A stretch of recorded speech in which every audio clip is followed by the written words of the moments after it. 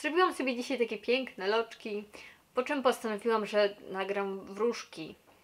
No i co? No i trzeba zrobić koka. Jak mus to mus? Bo nawet nie wiem, czy ktokolwiek z Was zauważył, że zawsze na wszystkich wróżkach mam zrobiony kok i tak, to jest zamierzone i tak, zamierzam to kontynuować. Tak czy inaczej, przejdźmy do tematu dzisiejszego odcinka, czyli do matki gołębicy. Jest ona bardzo mądrym ptakiem, w zasadzie najmądrzejszym w całej Nibylandii, no i mówi się o niej, że jest ona uosobieniem samego dobra. Jednak po raz kolejny nie zawsze tak było. Przed Wielką Wojną, o której opowiadałam Wam w poprzednim odcinku, było ona zupełnie zwyczajnym ptakiem. A później, gdy spłonęła wraz z całą Nibylandią, odrodziła się właśnie jako matka gołębica.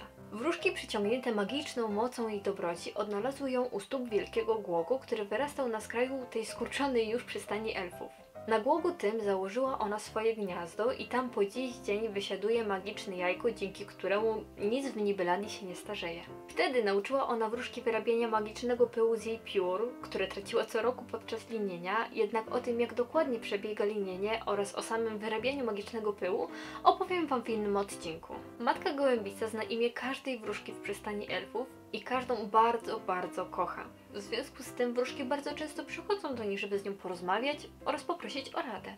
Z tego co pamiętam, to w jednej z animacji o dzwoneczku pojawiła się pewna sowa, która często doradzała wróżkom w trudnych sytuacjach i mam wrażenie, że była ona inspirowana właśnie matką gołębicą. Ale jeszcze a propos jajka, które cały czas wysiaduje matka gołębica, to jest to pewien magiczny artefakt kryjący w sobie tajemnicę, od której zależy los całej Nibylandii. Ponieważ dopóki jajko jest bezpieczne i ogrzewane jest ciepłem matki gołębicy, to wszystko w Nibylandii jest w porządku i nic się nie starzeje. A co by się stało, gdyby jajko zostało uszkodzone, o tym dowiedzieliśmy się właśnie w tej książce. Tutaj podczas wielkiego huraganu jajko zostaje roztrzaskane i trzy wróżki, czyli Rani, Bryłka i Widia, wyruszają na wielką wyprawę, aby zebrać trzy przedmioty i je uratować. Jednak nie chcę Wam o tej książce opowiadać zbyt dużo, no bo możliwe, że kiedyś ktoś będzie chciał ją przeczytać, prawda? Tak więc o matce gołębicy i jej jajku to by było już wszystko, a dla zainteresowanych to całe nagranie siedziałam w takiej bluzeczce z kotem z Cheshire. Piękne, prawda?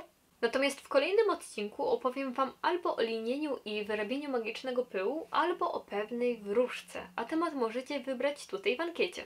Zapraszam. A ja jeszcze na koniec zapraszam Was na mojego Snapchata, Instagrama do obejrzenia innych filmów oraz oczywiście do subskrypcji, jeśli jeszcze tego nie robicie. Bardzo dziękuję Wam za oglądanie tego filmu, no i do następnego razu. Pa pa!